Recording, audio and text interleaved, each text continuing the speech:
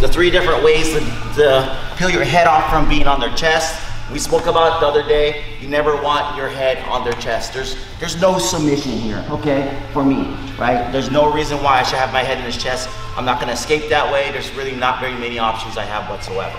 But for some reason, if he does pull my head down, okay, and it's pretty, if it's pretty loose, I just bring my hands in here, and I just grab the biceps, and then I reposture, okay? It's number one. If it's a little bit tighter, right? Then um, what I'll do is I'll, I'll uh, excuse me, I'll push on the elbows, then come up. Whether it's one at a time or both at the same time. That's the one I use the most often.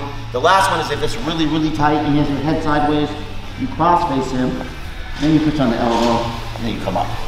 Okay? Really simple, but I see people struggling a lot with just posturing. Okay? Same thing I see people struggling with people breaking people's postures because they forget to use their knees. They start trying to climb up. I'm sure everybody's done it and you get really exhausted and know, after a while you don't have the gas to keep maintaining that, um, that uh, attack, okay? All right, one, two, three.